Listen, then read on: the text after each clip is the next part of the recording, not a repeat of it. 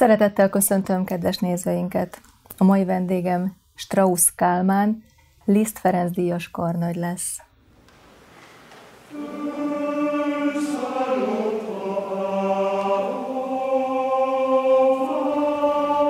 A sarkadi születésű művész katolikus családban nevelkedett.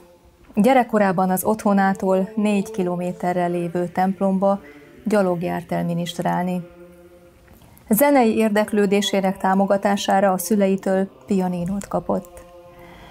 Zenei tanulmányait Gyulán, Esztergomban és a budapesti Liszt Ferenc Zeneakadémián végezte Vásárhelyi Zoltán és Párkai István növendékeként. 1974-től a Magyar Rádió szerkesztője volt, majd 1977-től a Budapesti Ifjúsági Kórus karnagya és a Magyar Televízió klasszikus zenei osztályának a vezetőjeként tevékenykedett. 1984-től 1991-ig a Debreceni Kodály Kórus művészeti vezetőjeként dolgozott. 1988-ban létrehozta a Budapesti Nemzetközi Kórus versenyt. Vendégdirigensként járt Németországban, Hollandiában, Svájcban, Olaszországban, Belgiumban, Izraelben, Japánban és az Egyesült Államokban. Dolgozott a Salzburgi ünnepi játékokon is. Számtalan világhírű dirigenssel és együttessel dolgozott együtt. 1992 és 2008 között a Magyar Rádió énekkarát vezette. 2010-ben a Honvéd férfikar karnagya lett, ezzel párhuzamosan pedig az Operaház énekkarát vezette. Munkásságáért 1997-ben Liszt díjat vehetett át. 2013-ban a kezdeményezésére került színre Onegger Johanna a Mágian című műve a Nemzeti Színházban. Az előadásnak karnagya is volt. Az első világháború kitörésének emlékére Strauss Kálmán kezdeményezésére jött létre, amikor megyek Galícia felé című koncert, amelyből film is készült. Felesége szintén zeneművész, két gyermekük és öt unokájuk van. A vidéki élet örömei mellett gyakran tölt időt kedves elfoglaltságával, a fotózással.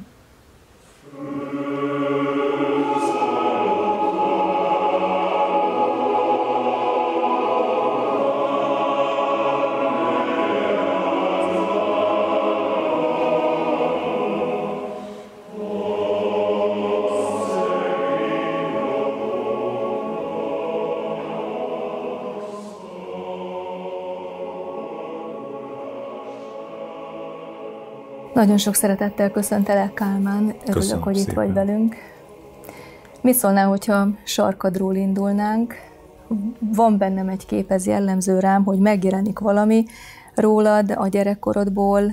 Az a kép van előttem, hogy a nagymamáddal sétáltok a sarkadi cukorgyár területéről a négy kilométerre lévő templomba vasárnaponként. Hogyan emlékszel ezekre az időkre? Hát sarkadi cukorgyárinak lenni az egészen mást jelentett, mint sarkadinak lenni. Uh-huh. Ugye a cukorgyárak, amik sajnos ma már egy kivételével nem léteznek az országban, azok mindig valamiféle különálló telepet jelentettek, ahol ugye voltak állandó munkások, idénymunkások, valamint tehát volt egy műszaki stáb. Hát mi ez utóbbihoz tartoztunk a, a nagy, nagyapám révén, és édesanyám pedig ott volt üzemorvos. Uh-huh. Na most még egy dolog, Sarkad az a legdég, legdélibb hajdúváros a mai napig, hiába tartozik Békés megyéhez, az egy hajdúváros, ennek megfelelően református többségű. Igen ám, de a cukorgyár úgymond értelmiségi társasága az viszont katolikus volt. Tehát az minden vasárnap megfigyelhető volt, hogy hol nagyon sokan, hol kevesebben nekiindultunk a falunak, ahogy mi hívtuk, és elmentünk a katolikus templomba misére. Uh-huh. Úgyhogy a nagymamámmal is több alkalommal, sőt a nagymamám az, az hát hogy mondjam, egy erős lelkű asszony volt, uh-huh. úgyhogy nagyon sokszor télen a jó nagy hóban vette, a, jól felöltöztünk, vette a hárászkendőt a hátára, és akkor mentünk a térdigérő hóban is akár. Ezek uh-huh. szerintem múlhatatlanul szép emlékek. Hogyan volt ez lehetséges a 60-as években? Hát lehetséges volt a 60-as években, ez nem járt mindenfajta, hogy mondjam, veszélyek nélkül, tehát azért volt, amikor uh-huh. az iskolában megkérdezték édesanyámat, hogy biztos, hogy hittalra akarja járatni a fiát. Mondta, hogy biztos. De mert én voltam az osztályban az egyetlen jelentkező, ezért ott nem lett hittantanítás, viszont a plébánien volt. Tehát akkor ez azt jelentette, hogy akkor oda jártunk hittalra. Uh-huh. Aztán a másik érdekesség, ezt talán elmesélem, hogy egy vasárnapi misére érkeztünk, és egy ismerősünk, aki a gyárban dolgozott, tagja volt a éppen uralkodó pártnak, akkor nem, MSZM, nem MSZMP-nek hívták, még nem tudom, hogy hogy hívták, de hát a kommunista pártnak, és hát ott a, volt egy buxus bokorsor a templom előtt, és ott bujkált mögötte, és édesanyám meglátta, és megkérdezte, hogy mit keres ott Mózes bácsi? És Mózes bácsi olyan zavarba jött, jó ilyen bihari ízős tájszólásban azt mondta, hogy kezi csaukolom, doktor Nini, hát az a helyzet, hogy én azért vagyok itt, hogy nézzem, hogy doktor Niniék járnak-e templomba. És anyám válaszolt, hogy hát Mózes bácsi, járunk, ezért ne fárassza magát azzal, hogy ide bejön. Ezt megtudhatta volna enélkül is. És a, a zene iránt mikor ébredt fel benned az érdeklődés? Hát annak a hiúság volt az oka. Ó. Eh, ahogy említettem, volt egy ilyen eh, társasága az értelmiségiek a cukorgyárban, akik uh-huh. összejártak. Amíg be nem szántották, teniszezni jártak, az is volt egy jó kis teniszpálya a gyár területén.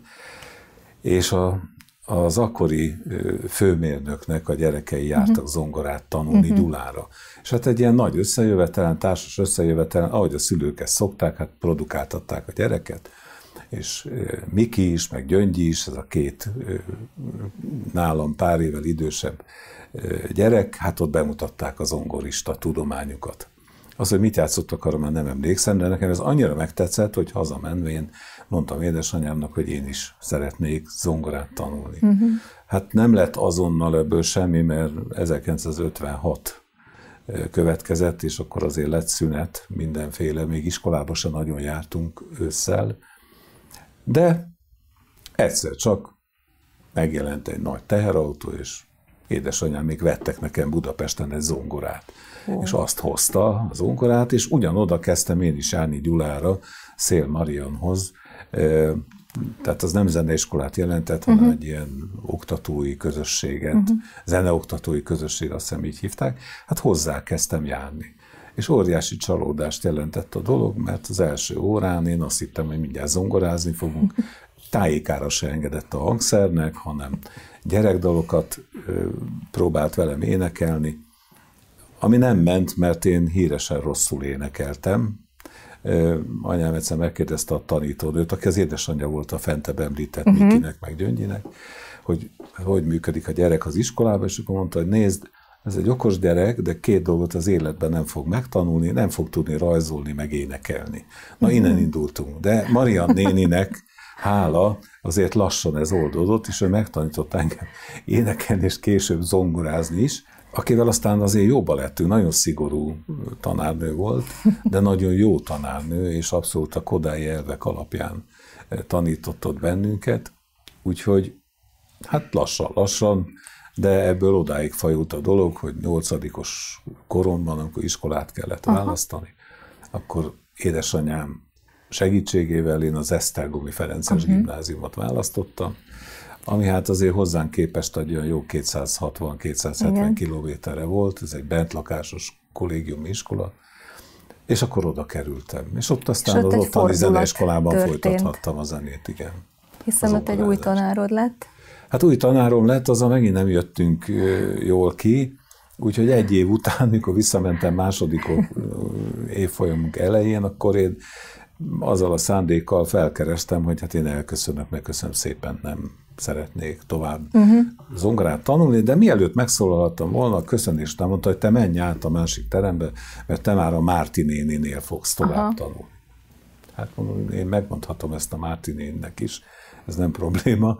Bementem, de Márti néni, aki, hát mondanám, hogy Márti néni is a 20-as évei elején járt, tehát uh-huh. ezek a nénik azért Igen. nénének szólított, ők fiatal, nagyon ambiciózus tanárok, hangszeres tanárok voltak Hát azt mondta, hogy ja, én már vártam magát, hát ez ugye külön tetszett, hogy Ó, igen. egy 16 éves gyereket magáz, egy ilyen kiváló tanár, és elő is készítette magának egy darabot, meghallgatja meg, és akkor eljátszotta a Schubert kisebbik Azdur impromptűjét, és ahogy hallgattam, ez egy tetszetős uh-huh. darab, mégiscsak maradnék én itt. Na hát így sikerült végül is aztán egyre mélyebben Igen. elmerülni a zongorázás és a muzsikálás tudományában. Egészen odáig, hogy zongoristának készültél eleinte.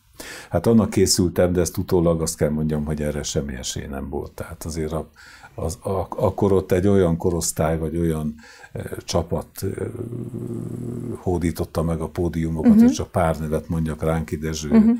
Kocsis Zoltán, Lantos István, Falvai Sándor, tehát egészen elképesztő, és hát még lehetne ezt folytatni, Igen. ezt a sort. Úgyhogy nekem erre nem volt igazán esélyem. Felvételeztem a mhm. konzervatóriumban, nem vették fel, mondták, uh-huh. hogy kicsit még gyakoroljak, fölvesztek engem a, a Győri tanárképzőbe, és akkor kiváló zongora tanár lehet belőlem. És akkor mondtam, hogy nem, nem, nem, én ide szeretnék járni a Liszt Ferenc térre ebbe az épületbe. És akkor a, az Esztergomi Zeneiskola igazgatója, aki egyúttal szolfés tanárom is volt, mondta Szabó Tibor, sajnos már ő sincs köztünk, uh-huh. Tibor azt mondta, hogy apukám, hát miért nem próbálod te meg a karvezetés uh-huh. tanszakot? Hát azt se tudtam, hogy ez Igen. mi. És akkor ő vállalta, hogy ő fölkészít, jártam hozzá ki, az atyák megengedték, ez óriási, hogy mondjam, csak bizalmat jelentett a részükről, hogy járhattam ki próbára a Balassi Bánit énekkarban, amit a Tibor vezetett, uh-huh és hát ott viszont villámcsapásként ért, hogy ez az énekkari művészet, ez valami egészen fantasztikus dolog. Tehát a Vox Aha. Humánánál jobb nincs. Aha, ez így megérintett téged egyből? Igen. Aha, és akkor eldöntötted, hogy karnagy leszel. Ez... Méghozzá Balasi Bálint egyik istenes versének köszönhető a dolog, a szép könyörgésnek. Igen. Egy, amiből Kodály írt egy nagyszerű kórusművet. Na, az volt ezen a bizonyos próbán, ahol én ott megjelentem, és akkor elhatároztam, hogy de ez nekem kell. És akkor el is végezted a zeneakadémiát. Hát elő, nem volt ez ennyire egyszerű, mert otthon megijedtek, hogy Jézus Mária, itt mindenkinek rendes polgári foglalkozása van, vagy tanár, vagy orvos, ez meg itt mit akar ezzel a zenével, az bizonytalan, uh-huh. és nem is vettek föl először, és uh-huh. aztán másodszorra viszont igen. A zeneakadémiai éveidből mik a legkiemelkedőbb élményeid? Hát fantasztikus tanáraim uh-huh. voltak. Uh-huh. Most, amikor beszélgetünk a napokban, pár nappal ezelőtt halt meg Párka István Igen. tanár úr, aki engem öt évig tanított, és hát utána is nagyon jó barátságba, uh-huh. jó nexusba kerültünk, aztán akit már sokkal kevesebben ismernek, meg emlékeznek rá, Maklári József, uh-huh. és hát akit mi csak az öregnek becéztünk, Vásárhelyi Zoltán. Úgyhogy ettől a három embertől a szakma vezénylési ö, fakjában rengeteget lehetett tanulni, és a tanszékvezetőhöz jártunk szolfézsórára, Szőnyi Erzsébet volt. Uh-huh. Ahol nekem szolfésban azért voltak hátrányaim. Szóval én későn határoztam Igen. el, meg nem jártam konziba. Uh-huh. És hát egyszer az összes csoporttársam elment az Ugrin Gáborral egy ilyen Kodály workshopot tartani Belgiumba két hétre. És én összeszedtem legbánatosabb arckifejezésemet, és bekopogtam a tanárnőhöz, hogy hát akkor ugye most két hétig, hát mivel a többiek nincsenek, akkor ugye nincs szolfézsóra, mire szőnyi. Miért? Én itt vagyok, maga itt van, mi az akadálya? Hát ne tudd meg, szóval két héten keresztül, heti kétszer két órában csak nekem tartott szolfézsórát, nem vesztette el a türelmét, hála jó Istennek, és hát sokat köszönhetek neki, hogy ez, ez azért elég jól sikerült.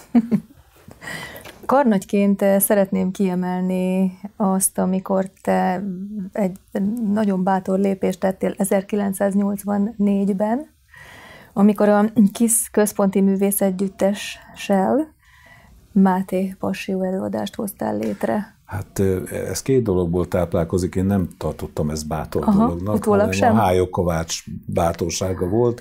Én nagyon szerettem volna. Akkor már egyszer egy ilyen balett előadás keretében énekeltük Pécsen az énekkarral a Máté Passiót, és hát ott se zeneileg, se az egész annyira nekem nem tetszett, és akkor elhatároztam, hogy na, ezt én szeretném eldirigálni. És hát akkor tényleg a kis központi énekkart vezettem, velük számoltam, lett belőle egy kis hát kavalkád, kis káosz, mert a zenekar az a Honvéd szimfonikus zenekara Aha. volt, azt akkor azt hiszem úgy, hívják, úgy hívták, hogy a Magyar Néphadsereg művészegyüttesének zenekara.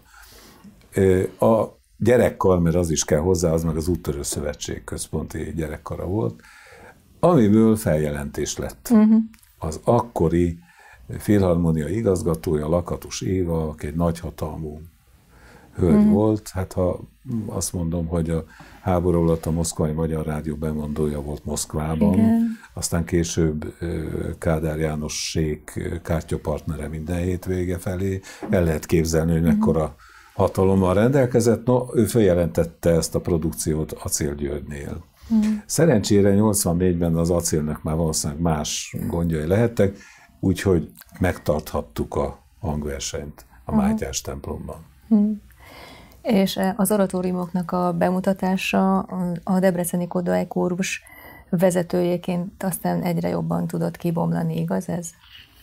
Igaz, ott nagyon sok oratóriumot énekeltünk, volt olyan év, hogy 11-et. Igen, igen. De ott is volt egy ilyen fura eset, az pedig Debrecenben én úgy tudom, és ma is így tudom, hogy először a Liszt Krisztus oratórium az az én elképzel, vagy az én akaratom alapján került bemutatásra, méghozzá a Szent Anna templomban. Tehát nem mm. a mhm. nagy templomban, hanem a Szent Anna, katolikus Szent Anna templomban. Hát ebből megint lett baj, be is idéztek engem a pártbizottságra, hogy ezt én hogy képzelem. Hát mondtam, hogy de miért? Hát mi a különbség? Hát a, a nagy templomban már rekviemet is én már mindent éneket. Igen, de az más, mert a nagy templomban még a Rákosi elvtárs is megfordult. Hát ezzel nem tudtam vitatkozni, de mindegy, szóval megengedték, uh-huh. Mhm. végül mégiscsak, uh-huh. hogy ne legyen ebből botrány.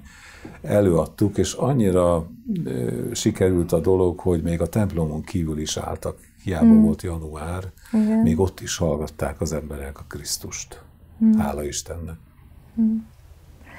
Nagyon nehéz a karnagyművészi pályátból válogatni, de amit mindenféleképpen szeretnék kiemelni, az a 2013-ban a Nemzeti Színházban bemutatott Johanna Mágián című előadás, amikben most egy kis részletet fogunk megnézni.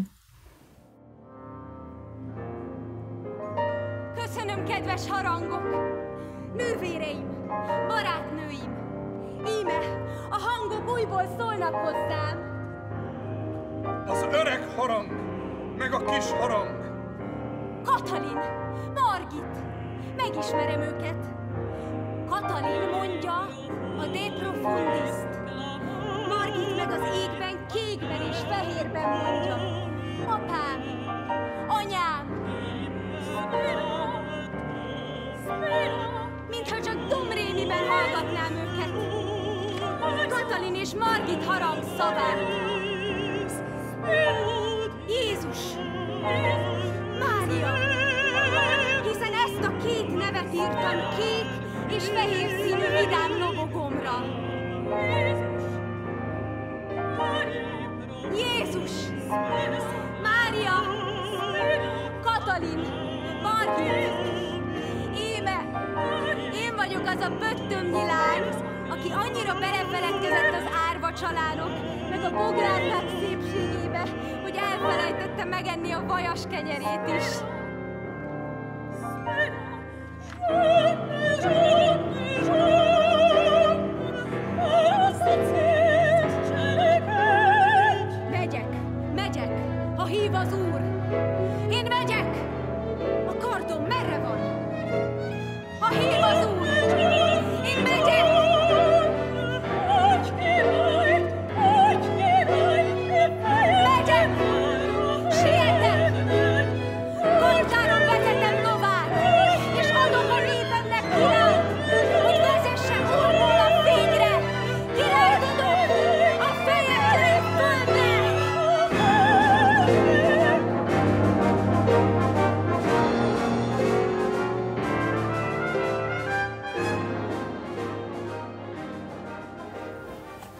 Honeggernek mikor találkoztál ezzel a művével? Zeneakadémista koromban, szolfézsórán, Szőnyi tanárnőnek köszönhetően.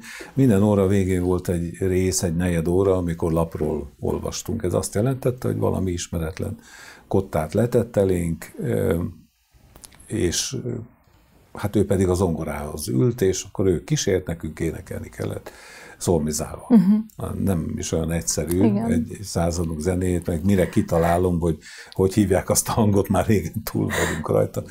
És akkor először nem tetszett, és aztán egyre jobban tetszett. És akkor Debreceni koromban egy Debreceni kórusverseny, nyitó hangversenyén ott már ezt előadtuk. Akkor nem én dirigáltam, uh-huh. hanem Erdélyi Miklós, Bács Ferenc volt a Tomókos testvér, uh-huh. és Hámar Ildikó volt, Johanna, szóval egy nagyon jó sikerült Igen. előadás volt a sportcsartokban, és hát azóta égett bennem a vágy, hogy ezt azért én is szeretném előadni. Uh-huh. Hát eltelt jó 30 év, amikor ez úgy megint eszembe jutott, és akkor megkerestem Vinyánszki Attillát, hogy jó lenne, ha ezt megengedni, vagy megrendezni, mert ugye ezt lehet hangversenyszerűen előadni, meg lehet színpadon, színházi produkcióként is. Egyébként Onagerék színházi produkciónak szánták. Uh-huh. És akkor Vidnyánszkiért először nem nagyon átkötélnek, hát akkor került a Nemzeti Színház élére, de ott hagytam neki egy francia nyelvű CD-t, mondta, hogy hát azt ő majd meghallgatja, meg majd lehet, hogy csak fél év múlva, hát mondtam én is neki, hogy most már 30 évet vártam, fél év ide oda, az már igazán nem számít. De két nap múlva csörög a telefon, Vinyánszki Attila, először azt hittem, hogy lemondjam, akkor még gondoltam is, hogy milyen udvarias ember, hogy nem azonnal hárította el magától, de nem így történt. Lelkesen mondta, hogy ez lesz, és ezt nem egyszer fogjuk játszani, hanem sokszor. Na így került ez a Nemzeti Színház színpadára, és 28 előadást ért meg. Hmm.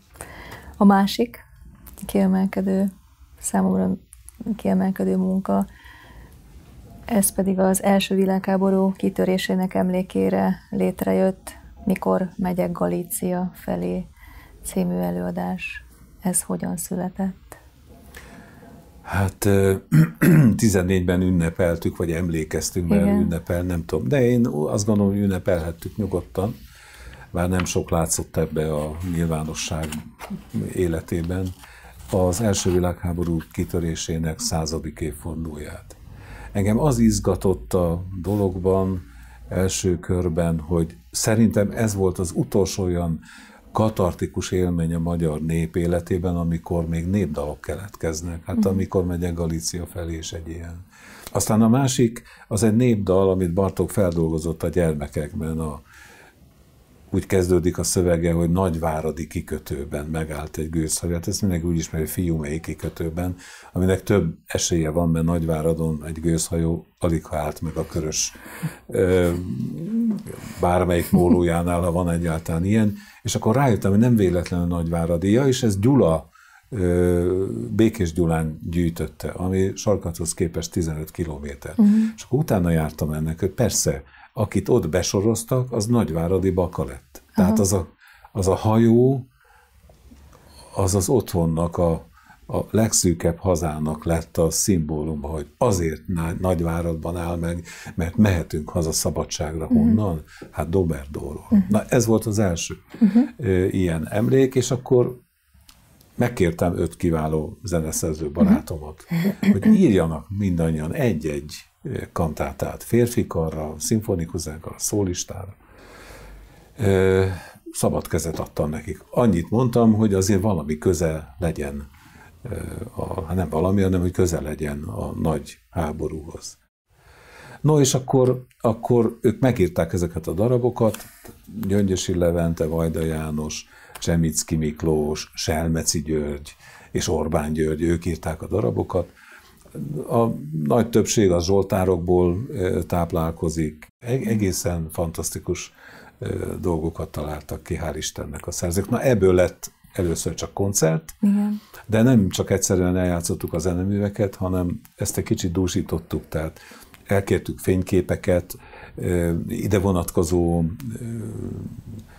versek szólalnak meg Juhász Gyula, Adi, És akkor, amikor a filmre sor került, akkor szerencsére kaptunk egy jelentős támogatást ehhez, úgyhogy a színészekkel el tudtunk menni Doberdóra forgatni, meg el tudtunk menni Zsemisülbe forgatni, és akkor Kisem a színművésznő, uh-huh. és Oberfrank Pál, Igen. aki a férfi férfire gondolt verseket, illetve részleteket mondta el. Úgyhogy fantasztikus. Én nekem ez úgy gondolom, hogy nagy, nagy élményt jelentett csinálni, és, uh-huh. és nagy élmény, és borzasztóan örülök, és hálás vagyok a Jóistennek, hogy ezt megcsináltuk. Uh-huh. És zenében nem is tudok másról, hogy megemlékezett volna bármiféle uh-huh. zenemű, akár az első világháború uh-huh. magyarjairól. Uh-huh. Én nagyon szeretném, hogyha ezután a beszélgetés után többen újra hallgatnák, avagy megismernék ezt a remek művet. Hát jó lenne. A támogatásnak az volt a feltétele, hogy közösségi médián kellett Igen. megjelentetni, hát ez a YouTube-on elérhető. Igen. Televízió is adta, és hál' Istennek elég sok koncerten, tehát három-négy koncerten, az soknak számít kortárzene esetében, azért ezt eljátszhattuk Zeneakadémián, Magyar Tudományos Akadémián, tehát sok felé. Mm. Úgyhogy ennek volt egy utóélete, uh-huh. és mindenkit arra buzdítok, hogy nyugodtan hallgassa meg, mert Igen. ugyanez kortárs zene, de ez abszolút fülbarát, tehát itt nem uh-huh. kell valamiféle avantgárd hangzástól félni. Uh-huh. És hát én akárhányszor hallgatom, pedig hát most már 2018-ban vettük föl, akárhányszor hallgatom, mindig meghat. Aha. Nem az, hogy én csináltam, hanem a darabok, Igen. meg az a szellemiség, ami ezekből sugárzik. Hm. Hát Kálmán, nagyon sokat dolgoztál, és a mai napig is ezt teszed, hiszen tanítasz a Zeneművész, Színművészeti Egyetemen, illetve koncertezel is. Hogyan tudtátok a feleségeddel így harmóniában tartani ezt a pályát a családdal? Hát nem könnyen, hmm. mert azért ez azt jelentette, hogy, hogy én nagyon sokat távol voltam. Tehát az, hogy a gyerekek nevelése, a háttér, az abszolút az ő érdeme, hogy az egyáltalán működni. Az ő türelme, szeretete kellett hozzá. Uh-huh. És milyen az élet ma? Ma az élet, azt gondoltuk, hogy mind a ketten nyugdíjasok vagyunk, hát akkor az most már végre sok pihenéssel jár. Jár pihenéssel, de olyan sokkal nem. Ott vannak az unokák, akikkel Aha. három fiúval mi egy házban, külön lakásokban, de egy házban lakunk, akik hát, ha úgy gondolják, akkor lerohannak hozzánk, mindig remek ötleteik vannak. Úgyhogy azért ez elég, elég, elég, elég jól működik, hál' Istennek, és hát aranyos gyerekek szeretni valóak nagyon, szeret, szeretnek bennünket, úgyhogy jól vagyunk, köszönjük szépen. És ne feledkezzünk el a kedves elfoglaltságodról, a fotózásról sem. Igen, hát e szempontból nagyon jó helyen lakunk, mert a Duna kanyar kapujában, Aha. tehát akár Esztergomi egy óra alatt bejárható, meg ott a bőrzsöny. Meg hát nyilván nem csak erről van szó, megyünk mi azért máshová is. Most például készülünk, készülünk Sümegre, majd valamikor mm. elmenni újfent. Meg hát ami engem érdekel, az a felvidék, csak oda még nem jutottunk el, mert ugye közben jött a Covid, meg sok minden közben jött, és akkor oda nem nagyon lehetett elmenni, de most nincs Covid, tehát én remélem, hogy most bejárjuk majd a híres felvidéki városokat. Köztük azért nagy kedvencemet, ahol már voltunk Bártfát. Mm. Készülhetnek a fotók. Remélem. Kálmán szerinted Isten miért teremtette a művészetet? Hát ez jó kérdés. Hát azt gondolom, azt gondolom azért van művészet, hogy Isten létét uh-huh. bizonyítsa. Uh-huh. Isten nélkül nincs művészet. Az, ami istentelen, az nem művészet. Ezért lehet, hogy sokan megharasszanak rám, de én ezt így gondolom. Uh-huh. Hogy anélkül, anélkül ez nem megy. A zenét meg azért teremtette, mert ahol a szavaknak a hatalma véget ér, uh-huh. na ott kezdődik a zené. Tehát amit nem tudunk már elmondani, a legjobb költő sem, vagy a legjobb író sem tudja irodalomban, akkor, akkor még mindig ott van a zene. Még azt is hozzátenném, hogy nem, még a legjobb képzőművész sem. Uh-huh. Nem véletlenül van, hogy vannak olyan zeneművek, amik képzőművészeti alkotások Igen. nyomán jött létre. Itt van a Lisztnek a spozalíciója, ami Raffaello eljegyzés, hogy a József eljegyzi Máriát képe alapján készül, és mégis többet ad. Hmm. Mégis többet ad. Ott van benne a kép, zenébe öntve, fordítva nem megy. Köszönöm szépen a beszélgetést. Köszönöm szépen. Kedves nézőinknek is köszönöm a figyelmet. Viszontlátásra!